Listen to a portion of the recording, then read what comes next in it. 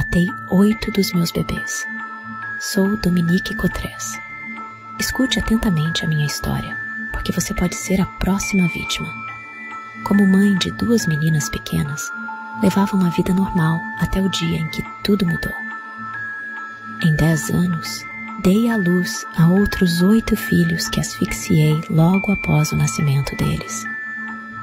Meu marido e minhas filhas nunca souberam de nada. Meu passado como vítima de incesto tinha me feito perder a cabeça.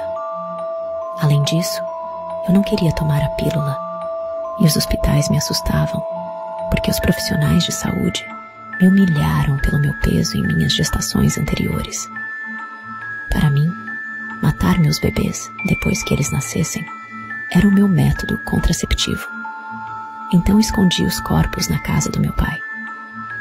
Mas em 2010, os novos donos da casa do meu pai descobriram dois cadáveres de bebês enquanto trabalhavam no jardim. Uma busca revelou mais seis corpos. Confessei tudo e fui condenada. Apesar dos meus crimes, minha filha mais velha me apoia. Meu marido está surpreso por não ter percebido nada. Isso é normal. Uma mulher obesa pode facilmente esconder sua gravidez.